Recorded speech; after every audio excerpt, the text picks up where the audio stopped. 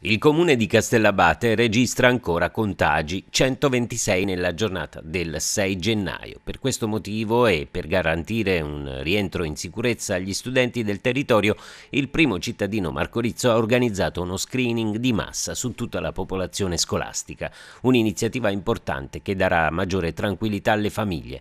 Si comincerà oggi 7 gennaio a partire dalle ore 14 e poi sabato 8 gennaio a partire dalle ore 15 Vista la delicatissima situazione attuale e per consentire un rientro a scuola in piena sicurezza, il sindaco Marco Rizzo ha organizzato lo screening dell'intera popolazione scolastica, classe per classe.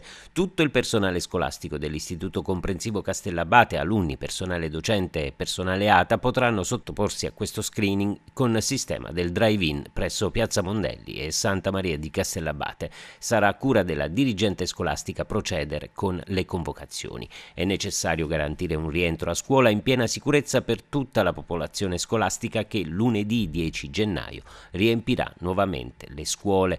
Prevedere uno screening di massa per tutti è un atto responsabile e consapevole vista la situazione che attualmente viviamo, afferma il sindaco. Marco Rizzo. Intanto ad Agropoli e Capacciopestum, territori che registrano attualmente numeri importanti di cittadini contagiati, Capacciopestum 400 positivi al 6 gennaio e Agropoli 318 al 6 gennaio, ancora non ci sono iniziative simili.